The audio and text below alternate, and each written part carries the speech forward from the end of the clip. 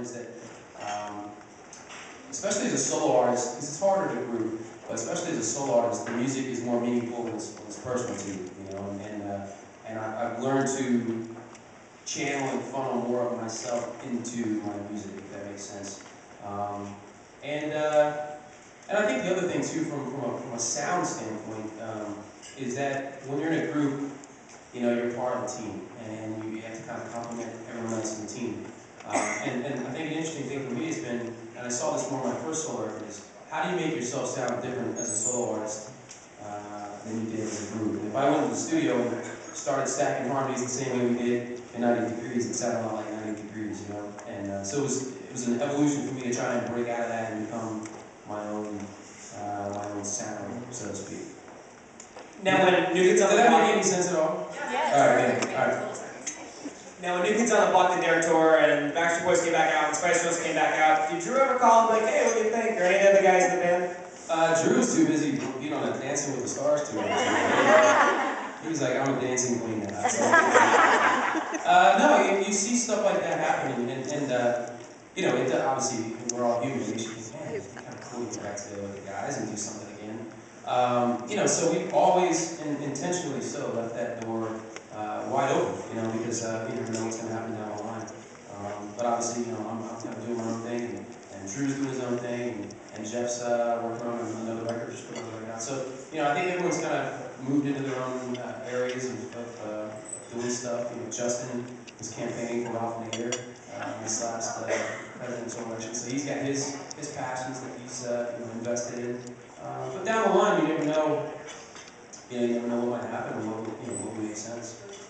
Now, Nick, I mean, every star, you, you have your Facebook, your Twitter, your MySpace, everything. Is any of that you? Uh, no, it's not. It's, I mean, it's one of those things where I, I've never, I'm, first of all, computer illiterate almost. I can't, I can barely turn the thing on. Um, and, and so I've never, I've never even been on MySpace or been on Facebook. Um, and uh, apparently I'm maybe the only one in America who's not part of it. Uh, yeah, I think there's some, some people who, who obviously, uh, you know, who, who, uh, been gracious enough to step up and, and do one for me. But uh, at times, you just always gotta be careful. Obviously, it's not, uh, it's not. The place I go, actually, there's two places I go to figure out what's going on in my life. One is nicklachey.com, and the other is nickfanatic.com. The to to Now, what's that like when you Google yourself? 35,000 Nick Lachey sites pop up. Uh, it's you know it's it's uh, it's strange because you I mean you guys all know this. When you read on the internet and what you hear, and, and I'd say that a fraction of it is actually true.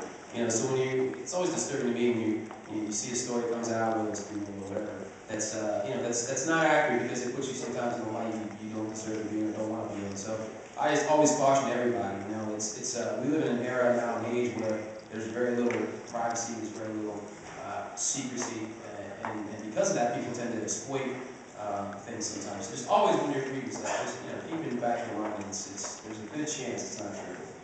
So now, what's your name? NickFanatic.com. Jackie. And did you start the site yourself? No, I did not. But there's actually a few of us here today. We're meeting for the first time. We connected on there, and we're meeting. Let's see a show of hands for all the Nick Fanatics. In the, ah, nice. No, that- I literally this site has been uh, has been my kind of lifeline at times because I, I honestly they have more content and more uh, and now in the, last couple months I've I've taken over my own site and we're, we're starting to do more content on there as well. But uh, you know it's, it's a great out uh, great source um, to find out what's going on. in my. Do you have a question for me? Do you think that it's crazy that we as fans, like, I feel like I know you? And you know, I've never, but I feel like I know you. And I'm sure a lot of your fans feel that way. It's- How does that make you feel? It's, a, it's a, it's a strange, it's kind of a strange thing that, you know, I think we were on TV and the way that I was on TV for, for a few years, uh, you know, it's, it's, it, it's been a great thing because it's allowed people to know, you know, who I am a little bit more and, and get to know me a little bit more. Um, but it is strange that people, yeah, people kind of, they like, they'll, they'll reference stuff that, you know, I'm like, I don't even remember that. They really, you know, remember these things from my life.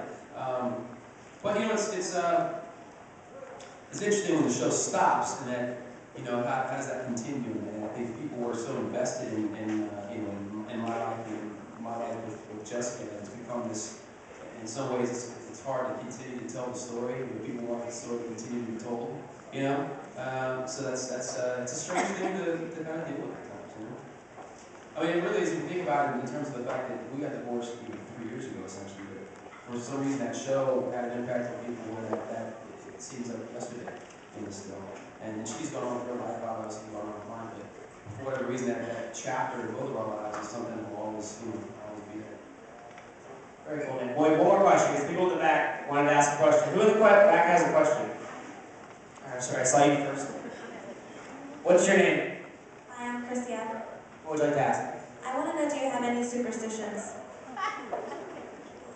Very superstitious. uh, I, I, I'm not a crazy superstitious person.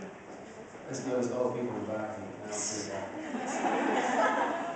Uh, the one thing I do always do is, is, uh, is knock on the, on the fuselage of the plane before I get. And I'm not sure how that started, but when you're in, in this business, you fly a ton. And I just figured, you know what, it was very early on, 98 degrees, and I just give a nice little knock on the, on the side of the plane. And it's not, it's like I'm gonna be able to tell if the plane's going to whatever reason, it's become, uh, it's become a bit of a superstition.